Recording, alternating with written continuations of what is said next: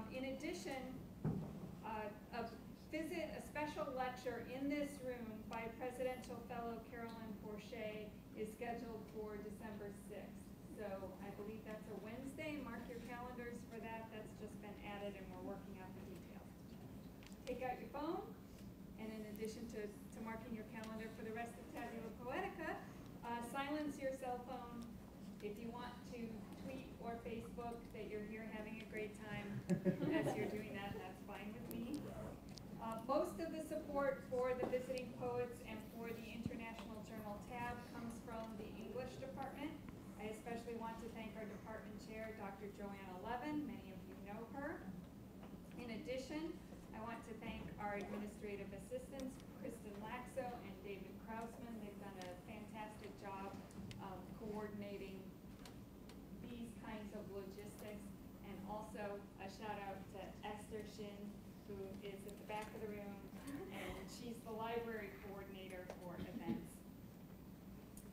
Leatherby Libraries, where we are now, Fish Interfaith Center, and poets and writers continue to support our talks and readings for Tabula Poetica.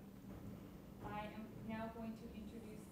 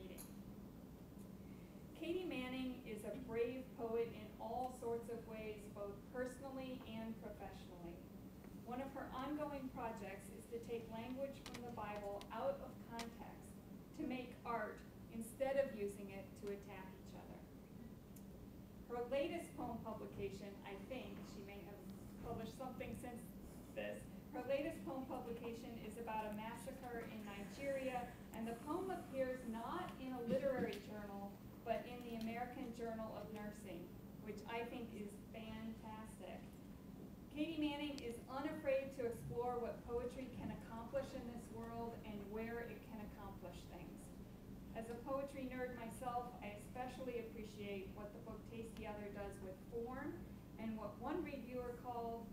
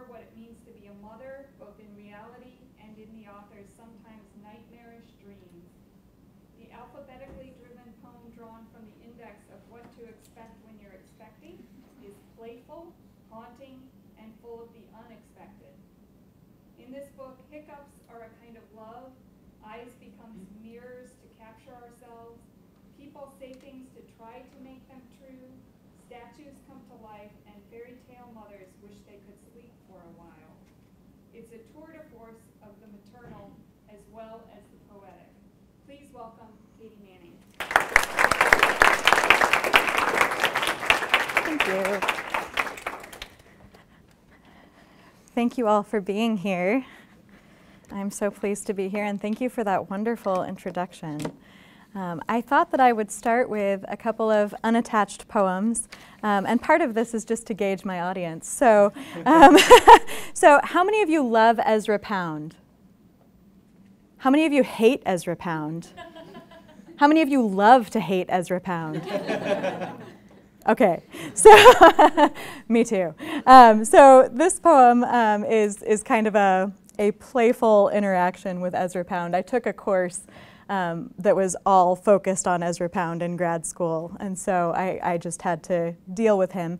And he has a poem called The Tea Shop, where he basically is kind of checking out this woman in the tea shop who's serving him tea, and he's thinking, you know, she's going to she's going to become middle aged. Um, and so this was my response. So, tea with Ezra. He told me that only he and Whitman had gained immortality, and he took a bite of his lemon pound cake. I reminded him that he'd already been dead 30 years. I tried not to stare through his decaying jaw at the jostled pastry. He looked me up and down and said, Yes, you also will turn middle aged. I simply shut his book and drank his tea when I'd finished mine. So you're welcome to laugh and you're welcome to talk back to me if you want. It's customary at a poetry reading not to clap between the poems, but you can do whatever you want. Um, so uh, the next poem I wasn't going to read, but I decided after conversation with Richard at dinner that I was going to go ahead and go for it. So this poem has an epigraph A book tightly shut is but a block of paper, which is a Chinese proverb. And I like to think of it as my attempt at an inaugural poem rise and fall. Little D didn't even realize that books could open. He stacked them like blocks, building the tower that he planned to live in someday. He'd sit on top and look down upon Lego people and think of how much better he was than them, how like a god he must seem with his height and power. But each time, he'd lean too far or wiggle too much, and the tower would topple him down. No matter how much he shouted at them, the people on the ground could not stop smiling. Thanks. So, um, the next few poems that I'm going to read for you are from a chapbook collection called The Gospel of the Bleeding Woman.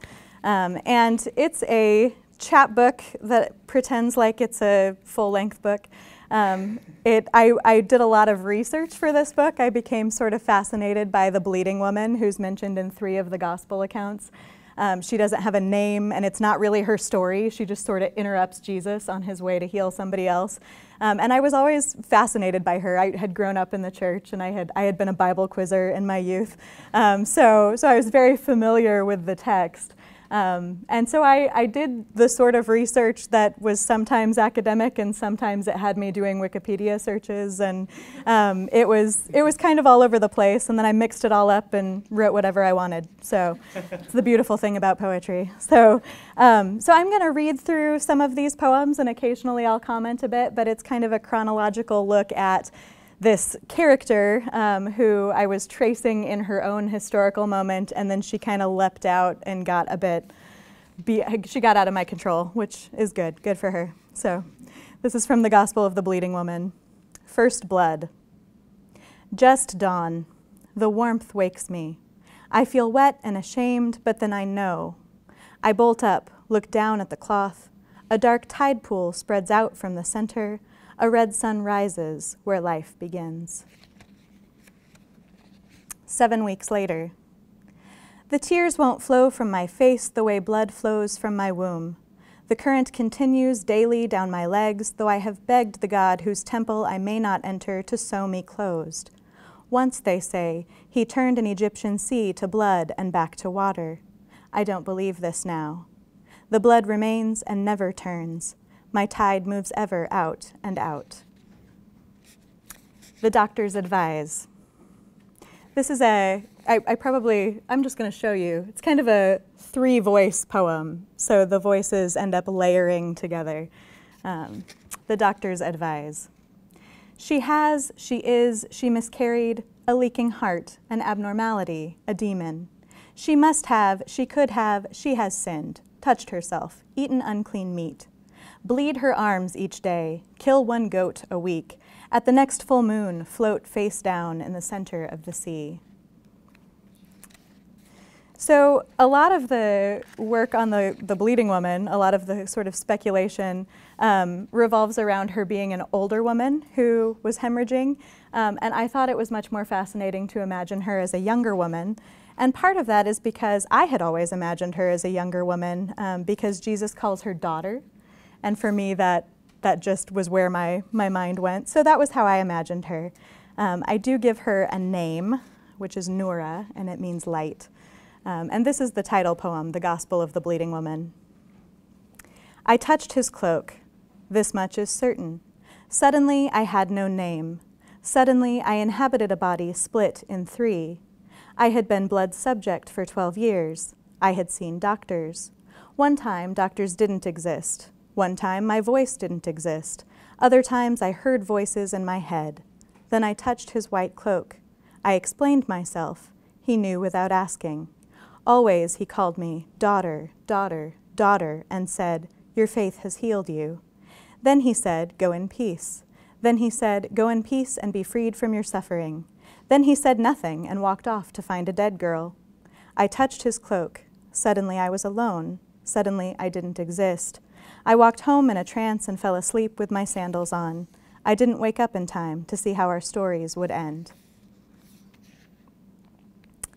So then things get weird. um, so this is the resurrection of Nora. Just dawn. The noise wakes me. I wonder why I'm wearing sandals and how I know the word clock. I bolt up, look out the window. Yellow cars scream on the street below. Yellow leaves fill the park. Then I remember he told me, Your faith has healed you. My temples throb, and I think, What faith? So, I'm going to read you one more poem from this collection. Um, she ends up in New York City because I, I really resisted that, but I, I couldn't resist, and it kept coming up. And so I wrote it and decided to just see what happened. Um, so this is when she gets to meet Jesus again, um, this time in New York City, where death is not and is. I met Jesus the next day at the Life Cafe. Call me Jay now, he said. People lock me up when I say I am God. He pulled back his sleeves to show the marks on his arms from recent shots. I asked what I could do. Just lie low, he said, between bites of falafel. Dead is the way the world wants us. People hate to feel alive. We ate in silence for a while. Then I asked, What happens to us? He wiped his young hands and stood to leave. We are finished, and kissed my cheek. I put my hand on his arm and told him the scars would be beautiful when they healed. Thanks. So, um, to switch gears now, um, I'm going to read a bit from Tasty Other. Um, and that is my collection that is um, a full length collection. It was published in November. And I like to describe it as exploring all of the wonder and terror of becoming a mother.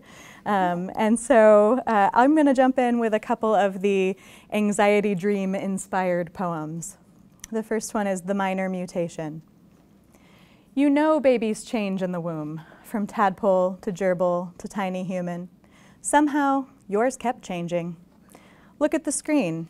See the lengthened neck, lengthened legs, hardening hooves. Sometimes these things happen. The good news is your baby is healthy. It won't come out for an extra year and three months, so you can enjoy pregnancy even more. the bad news is that your newborn will be at least five feet tall. When you go into labor, you will need to stand on a high place and let your baby ease its long way out, fall hard to the floor, leave your body completely empty. I love your laugh. Thank you. um, a couple more of those. The birth of jazz. This one is, I'm just going to like flash you my pages here. This one's shaped a bit like that on the page. The birth of jazz. The baby emerges, sparkling, covered in sequins, shining in sequence like a disco ball. I never knew I had such things inside me. Ella's glittering gown at the blue room. Maybe baby's high notes will break glass, but baby smiles and giggles, crying impossible. And I'm going to read one straight out of here. I try not to flip too much in my book when I'm reading because it takes some time. Um, but since I'm on a college campus and since I have a couple of Point Loma alumni in the room, um, this is a poem that is set on my college campus. The Stolen Egg. My husband and I run across our college campus, staying in the shadows of guard shacks and chapels. On the brick lane beside the cafeteria, the T Rex crushes alumni names to anonymous dust. He's looking for us. We slip into the English building, crouch in the inner corridor. I take out the large egg I've concealed in my backpack, and we watch our son hatch quietly in the dark. So, the next poem I'll share with you is actually the first poem in the book, um, and a couple of things that I like to share with people about it. Um, one is that it responds to those pregnancy calendars that are like, this week your baby is the size of an orange, and this week it's the size of a watermelon, you know, all that kind of stuff. Um, and the other is, it feels like it. So, um, so the other fun bit of information to know about it is that the line by line syllable count follows the Fibonacci sequence. So if you like math, enjoy that, and if you don't, just pretend I didn't say that. And you don't you don't have to know that, but it's kind of a fun thing to know. So this is called week by week. At this time, your offspring is invisible. Now a speck, the dream of seed and root. Baby is a dime, quarter, increasing in value, golf ball, gerbil, your own palm. Then more sports equipment, softball, football, racquetball court, by this point, your baby is a train, a field, a city, an ocean. This week, baby is the sky, now a hemisphere, now a blurry world. And one of the things that I love to do, um, as you might have noticed with the Gospel of the Bleeding Woman, is to explore characters um, who maybe don't get their own story or their own name.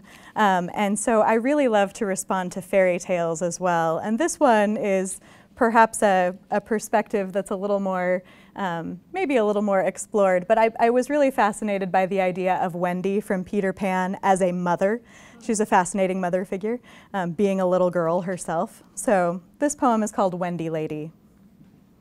My children are almost my age. When I fly, they believe I am a bird. They built a house just for me, but I still visit them underground in the sky. At night, I tuck them into my stories. I arrange them all neatly with mermaids and pirates, where they are always about to die, where they are safe from growing up. I leave the windows open so they can escape. I leave the windows open to catch them. And this one is one of my favorites. I don't know, I'm not supposed to have favorites, but it's one of my favorites. Um, so this is Sleeping Beauty's mother. And I was reading the Charles Perrault version of Sleeping Beauty and started thinking about her mother. So, Sleeping Beauty's mother. A king and a queen wanted to have children. They tried everything travel to drink the waters of the world, vows of silence, solitude, and celibacy, pilgrimages to trendy shrines, prayers to various gods and goddesses, and nothing worked. Finally, they tried sex. the queen became pregnant. The king chased after fairies. Seven fairy godmothers came to give the baby gifts, though the king didn't bring the oldest fairy in the land, so she brought herself and a curse to the shower. The girl will prick her finger with a spindle and die. No, said the last young fairy, the girl will only sleep for 100 years, and she'll wake to a prince's kiss. Everyone loved the lovely young fairy, and everyone felt sorry for the little baby doll. The king passed anti spindle laws, and the queen, tired of swollen breasts, sleepless nights, a king who was too friendly with fairies, thought of a century of sleep and a new young prince, and wished she had her daughters good luck. so the next poem I'm going to read for you is um, it's in 10 short pieces. Um, and when I was living in southern Louisiana, it was a very Catholic place to be. And right down the street from where I lived was um, a kind of slightly larger than life sized statue of Mary in someone's front yard. Like it wasn't, it was just a house and their front yard, giant statue of Mary. And I became really fascinated by the statue of Mary, so I have like, I snuck pictures of it a couple times. And, um, and so, so that uh, of course, I had to deal with Mary when I was working with motherhood and living in southern Louisiana um, because she is that, you know, wonderful paradox, both virgin and mother. So this is Mother Mary Comes to Be. When the statue of Mary on Johnston Street first came to life, only a passing pigeon saw the plastic melt to cotton and flesh and take a breath. The bird winked and wavered in the humid air. Mary smiled. She'd wanted to come back to Earth for a while. When the statue of Mary on Johnston Street first came to life, a pigeon flew by as the acting dove, but no voice came from heaven. What could such a voice say? This is my daughter, this is my mother, this my creation, my co creator. At last on the breeze, Mary heard, This is my, whom I love. When the statue of Mary on Johnston Street first came to life, no one noticed. Mary was slightly disappointed. For years, people had seen her face in stained cloth, stuccoed walls, and molded yogurt, but people always did miss the obvious. When the statue of Mary on Johnston Street first came to life, she stretched her limbs, rearranged her blue and white robes. Some boys driving past in a rusted truck honked and whistled. Mary laughed. It felt good to have a young body again. When the statue of Mary on Johnston Street first came to life, she was already tired of being called virgin. She'd had more kids after Jesus, you know. And Joseph knew well that she was no virgin anymore. Sometimes she had even felt sexy. when the statue of Mary on Johnston Street first came to life, she just wanted to try ice cream. She still had a little plastic up her sleeve, so she strolled down to Borden's parlor to buy a cone of fudge swirl, and it was good. when the statue of Mary on Johnston Street first came to life, she watched humans turn the Gulf of Mexico from water to crude oil. She wasn't impressed. She might be a biased mother, but wine was much better as a party trick, in her opinion. When the statue of Mary on Johnston Street first came to life, she watched grown men fight over plastic necklaces, coins, and cups. Avoiding drunken elbows, she picked up a strand of golden beads at her feet, hung them from her neck, and walked off to find one last bite of meat. When the statue of Mary on Johnston Street first came to life, she hailed a cab and went to Mass to hail herself, sat in the back row, and wept to see the cross. That boy had been the hardest to let go and the hardest to let in. Mary snuck out before they broke her son again. When the statue of Mary on Johnston Street first came to life, she took a breath because she could. And when she'd had enough of air and flesh for another lifetime, she stepped back onto the grass, stood straight, and stretched her arms before her, palms raised. Mary sighed and left her image where she'd found it, by the side of the road. All right, now that we're all friends, I'm going to bring you right into the delivery room. so um, I really love Mina Loy. She was a modernist poet. Um, she was uh, she was wonderful. She she did some strange and amazing things. Um, and one of her poems is called Parturition, and it's this sort of stream of consciousness um, capturing of her experience of labor and delivery. Um, and there were a couple of bits of that that were running through my head while I was in labor with my first son. Um, and one of the one of the sections was um, "Mother I am, identical with infinite maternity." And the other was, I am the center of a circle of pain. Um, and I just had those swirling around. So, um, so after I had my first son and had a little bit of distance, I decided that I should probably attempt my own parturition poem. So this is parturition. My veins roll away. The back of my hand swells black with blood. The soles of my feet hold each other. I am waiting on a cliff over the ocean. Breathe, breathe. I taste the salt. The me in the room is not me. I blow out candles, blow the candles, blow. No, I am just a child, a big breath before a bright red birthday cake. I can't let go. The next one is the one, two, three, four, five, six, seven, eight, nine, ten. The head in the mirror is not mine. One, two, three, four, five, six, seven, eight, nine, ten. Someone has set me on fire. One, two, three, four, five, six, seven, eight, nine. Everything falls. I'm inside out. Open my eyes. Wet red life wriggles on my belly, mouth open, eyes closed. It must be crying, but I only hear my own voice. Oh my, oh my. My husband avoids sharp objects near soft skin. The baby is weighed, measured, inked, placed in a glass bowl. Sewn back together with blood and twine, I become something new. So that's the last poem I'm going to read to you from tasty other. Um, and then I'm just going to close with one that's fairly new. Um, and as I admitted at the poetry talk earlier, I often don't read things that are very new, um, partially because whatever Anna said about me being brave, I'm not sure I'm brave enough usually to, to do the new stuff.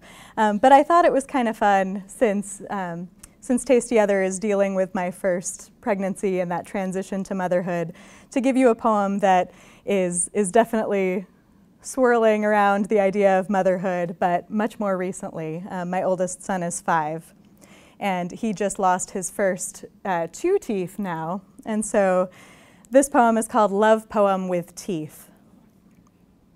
What would you do with it, you ask? I would keep it hidden in my jewelry box like a witch collecting body parts for a spell, I think.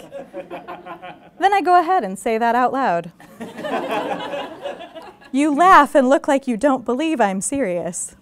Later, when we've waited for our son to be deep in dreams, we sneak into our own bedroom, you shining a screen light across our firstborn, tucked into the sleeping bag where he begged to be on this special night. We negotiate in whispers, a two headed fairy too new to the job to be suave, because we both want to make the exchange. I lie beside our son, slip the Ziploc bag from under his pillow, slowly slide a dollar into its place we make our escape. At the kitchen counter, we stand side by side and examine his tooth, its surprising long roots. I hand it to you and say, You'll have to make it disappear. I resign myself to its loss. A few minutes later, you return to me, chin down, cheeks pink, and say, I can't bring myself to throw it out. I laugh, and we kiss, and I know I'll sneak upstairs again, conceal this little bit of our child in a locket to keep safe.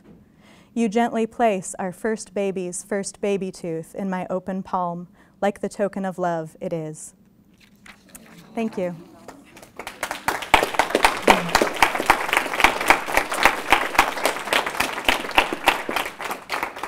All right, and I. Have some time for questions. I'll answer almost anything, so. There you has a good question? About the poems or about writing? I'm watching my students. I'm not sure that inspires questions. Um, so humor seems a big part of your poetry. Do you sit down and write humor, or does it just naturally just come? Now you, you talked a little bit about this. It just it seems like it just is part of your personality. yeah, I I am often shocked when I read something and people laugh. Um, so that's that's been a learning experience for me that I when I when I first read a poem. Um, so I haven't read this poem, the last poem that I read. I hadn't read it to an audience yet. Um, that was that was the first time. So I'm pleased that you laughed. I didn't. I wasn't sure. I, I don't. Um, yeah, I think I think I have a playfulness when I write, but I'm not necessarily aiming at humor.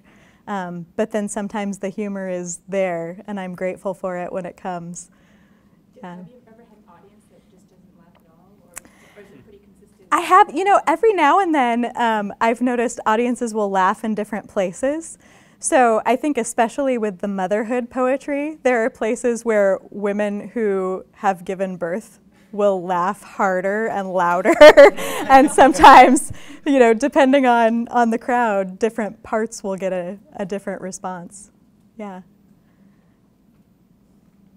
Can you talk a little bit about the structure of Taste the Other and whether you came up with that, like, before you embarked on it as a project, or whether you had some poems and recognized something? Yeah, I talked about this a little bit earlier in the class meeting um, that I got to visit. But um, so originally, Tasty Other was a, a creative, it was the creative portion of my dissertation, and it was very differently structured. Um, when I when I first created it, and I didn't have a structure in mind. I was just sort of writing anything, um, you know, in response to stuff I was reading about mothers and motherhood, strange mother stories, obscure mother characters, my own experiences, um, and especially the anxiety dreams. But I wasn't sure exactly how it was going to shake out. Um, and organizing a collection is just the worst. It's it is really hard um, to to do it. And so I was really fortunate um, that one of the one of the presses that I submitted to that sent me a really encouraging decline um, had said, you know, this was in our final round, and here's what we really loved about it, and here was, is what wasn't working as well for us. Um, and one of the things that they mentioned was the order of the poems. Um, and that editor said, you know, just a suggestion that you might try. Um, what if you used that footnoted poem to structure the book? And my first thought was, whatever, I'm not going to do that, right? Um, and, and then I let that sit for a bit until it wasn't painful. And then I looked at that feedback again and went, okay, what if I try that? And I tried it um, using, so, it, so it's a poem, um, it's actually in nine parts because the comma is also footnoted. so um, so it's, a, it's a nine, it's a poem that happens in a sentence, but then really the poem happens in these nine footnotes. And so, um, so those are, are then broken apart and each footnote became a section heading for the book. Um, and so then I structured the poems, hopefully in a way that made sense with each of those footnotes and sort of chronologically with pregnancy um, and childbirth and just after.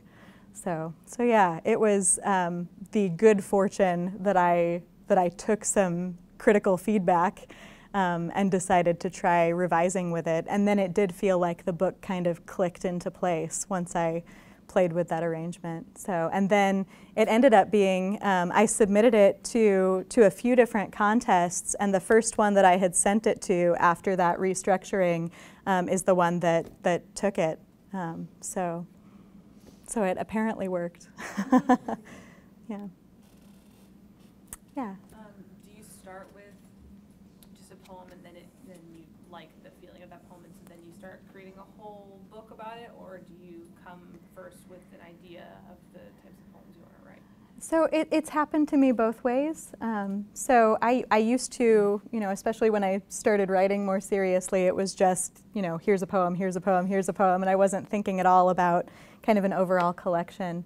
Um, and then with the Gospel of the Bleeding Woman, that was definitely a choice of like, I am going to do this research and read everything I can about this, this character, no matter how ridiculous. I'm just going to read everything um, and kind of, you know, shake it all up and, and see what happens and play with that material. Um, so that I, I, definitely chose before I started working on a poem. Um, with Tasty Other, I was really resistant. I started writing poems that, that related to babies and motherhood, and I wasn't pregnant yet. Um, we had decided that we were going to, you know, try for some kids, and but I, you know, obviously I was preoccupied with like babies, um, and also very anxious about it because I started having these crazy dreams even right before I, I got pregnant with our first son.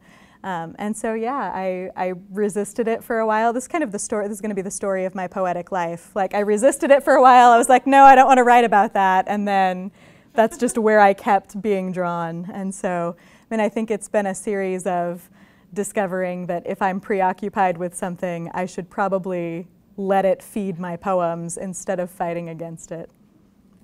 Yeah. Yeah. Yeah. Heidi. you're writing poems, do you usually find that you're like satisfied with it as soon as you put it down, or do Oh, you no. keep wanting to write? no, no, no. Every now and then, there's a rare, rare occasion where I'll I'll work on a poem the first time and feel like yes. Um, that just doesn't happen most of the time, um, and I, I feel like I'm probably the worst judge of my own poetry. So. Um, I was at a, a writing workshop at the beginning of August, and we were writing poems each day and then bringing them and reading them the next morning. And so I, I had written a poem and I just thought, man, this isn't working. And I kept, you know, trying to work on it and work on it the night before. And I finally was just like, whatever, I'm going to bring it to class. They know, they know it was just written in a night. It's, you know, it'll be fine. So I read it and the response in the room was kind of a, ooh. And then, and Carolyn Forche was the workshop leader. Um, and she said, would you read that again? and I was just like, yes and and yeah it was it was just such a wonderful like wow i didn't realize what the poem was doing um, and so and something i said to mike earlier when we did a podcast recording was that you know i think that that poems always invite readers to participate in the poem, right? There are the gaps that you fill in with your own associations with the words or with the content, you know, whatever it is. You're always participating in creating the poem as you read it. Um, and so I think I think sometimes that's why I'm a bad reader of my own poems because I have this sort of fixed idea of what I'm doing or what I'm trying to do, um, and it helps me to hear how readers or you know listeners are are taking the poem and what they're doing with it. I guess. Is, Yeah. is that how you decide when to send it out then? So how, how do you decide when it's finished enough to send out for possible publication? Yeah, I mean it varies. Um, so, and and part of that is is sometimes just if I'm trying to complete a packet of poems, like, ooh, here I have a couple of poems that I really want to send out, and I guess this one would work with those poems, so I'll throw that in there.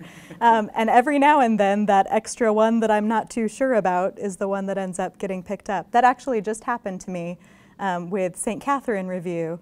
Um, Scott Cairns took a poem that was the poem that I kind of threw in at the last minute and went, I'm not, this is really new, and I'm not sure if this is finished, but I'm going to put it in there.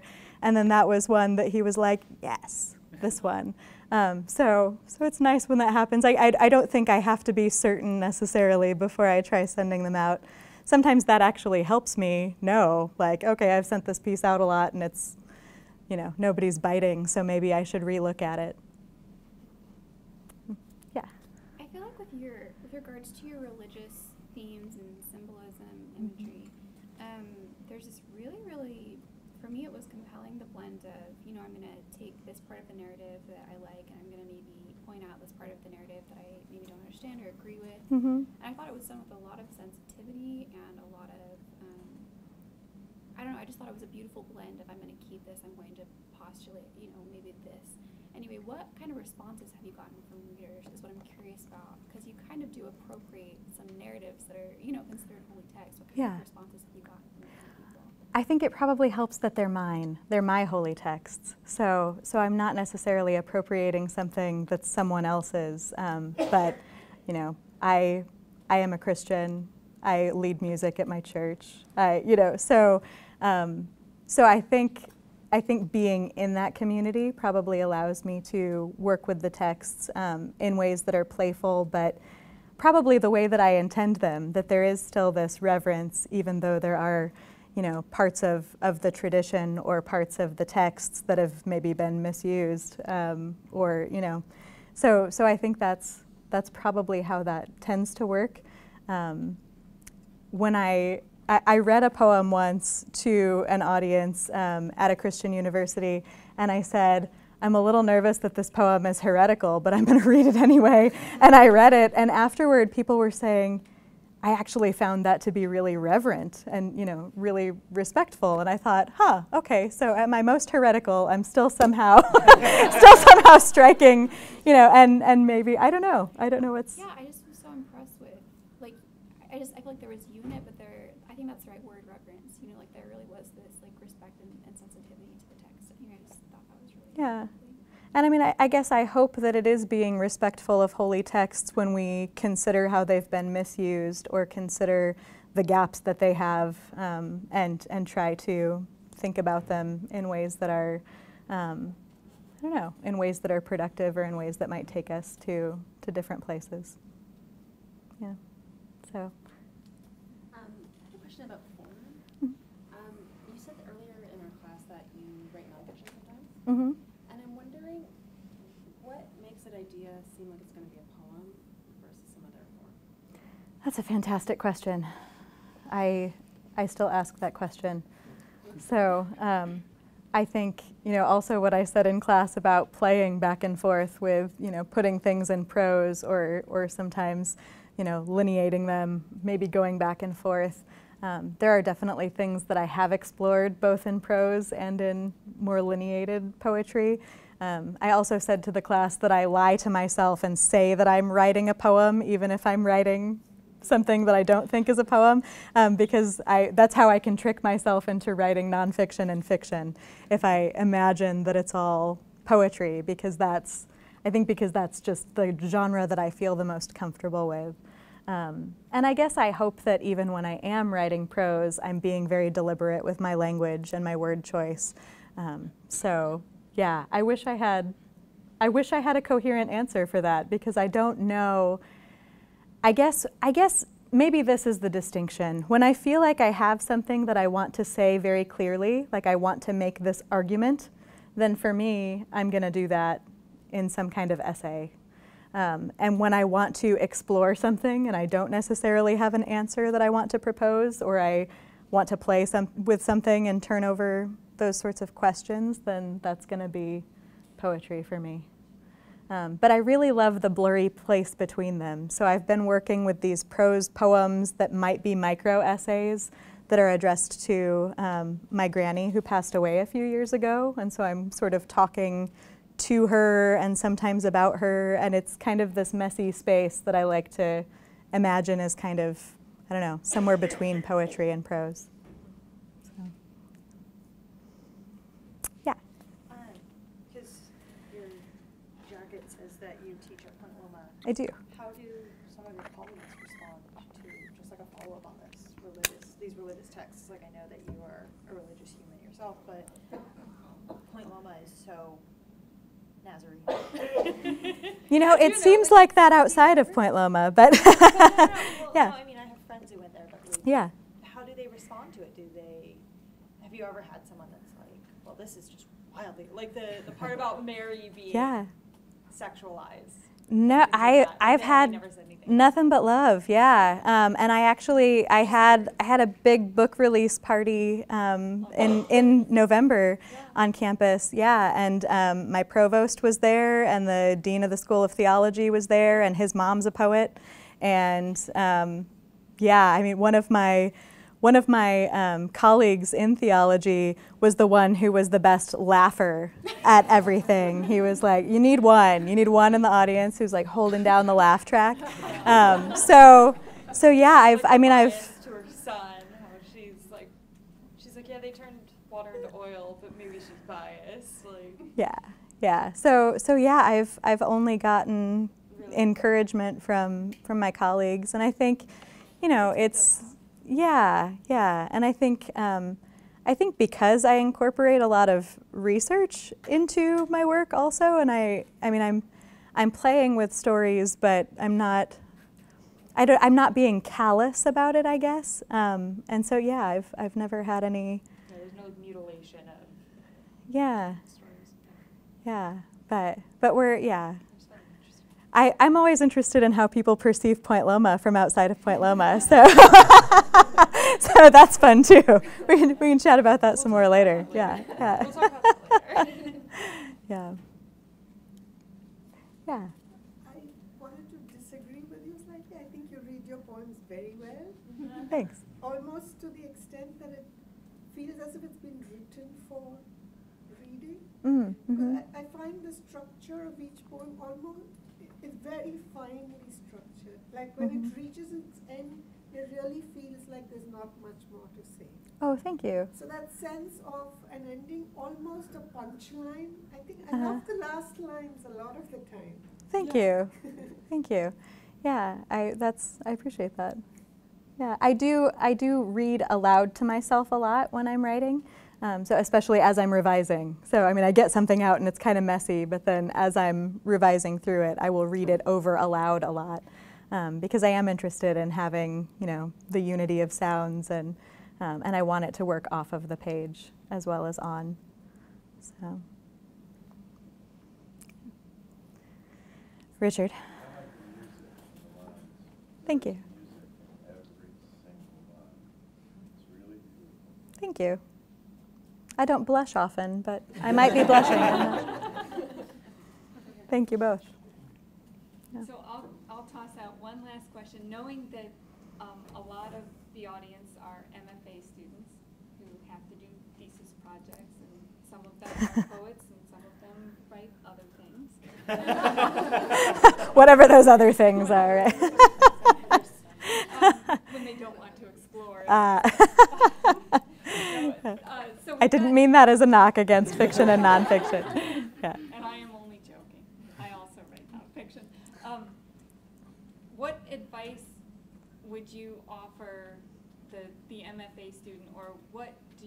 wish you had known or trusted or thought about when you were in graduate school? Hmm, that's a good question. Um, I mean, I think I gave you one of those, which was the you might as well write the things that you are obsessed with. If something is preoccupying you, write it. You might as well. There's no reason to resist it, right? Um, and, and you don't know where it'll take you. And maybe it takes you in a place where you're like, okay, and I'm going to put that away, and that's fine. But it doesn't hurt you to write it out and see where it goes. Um, and you might be really pleasantly surprised. The other thing that was really useful to me when I was working on my thesis and my dissertation was that you just have to finish it enough to be finished right now, and that doesn't have to be the end of it forever. Um, so, so Tasty Other looks a lot different in its structure, and it's got some poems swapped out um, that weren't in the, the creative portion of my dissertation. And so, um, so get it done, get your thesis done, um, but then it'll have a life beyond the work beyond the deadline, um, and you might not you might not feel satisfied with it completely, but there's still time beyond that initial deadline, and you can do more with it and do different things with it. But get it done. Just get it done. It'll be okay. How long between um, dissertation being done and book? Okay, went so yes, So how long, how long I? I finished um, my dissertation in 2012. Um, and the Tasty Other won the 2016 Main Street Rag Book Award and was published in November. Which so. sounds quick to me. It did not feel quick, but it's it's not bad. I've heard I've heard of worse. But then there is the manuscript that I had before that I've been sending out that's gotten a couple of finalist nods and it's still just like simmering on the back burner. And so I mean that one's going to have a much longer story um, if and when it ever is published in that manuscript form. So yeah, All right, well, thank you. yeah. Thank you.